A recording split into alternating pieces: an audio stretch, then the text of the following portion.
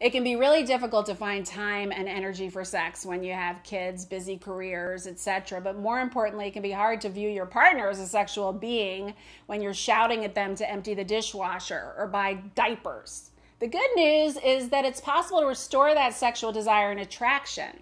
First, I want you to take an adults only getaway, just the two of you, even if it's only for a night, a staycation. Doesn't have to be expensive, but you want that time alone. Set a date night in stone every week. Go somewhere new and different.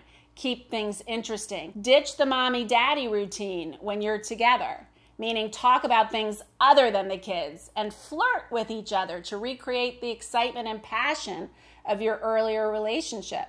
Most importantly, make a date for sex every single week. Because once you have kids, if you wait for it to happen spontaneously, you are waiting way too long. If you have a question you'd like an answer to, comment below. And thanks for watching. Don't forget to hit like and subscribe.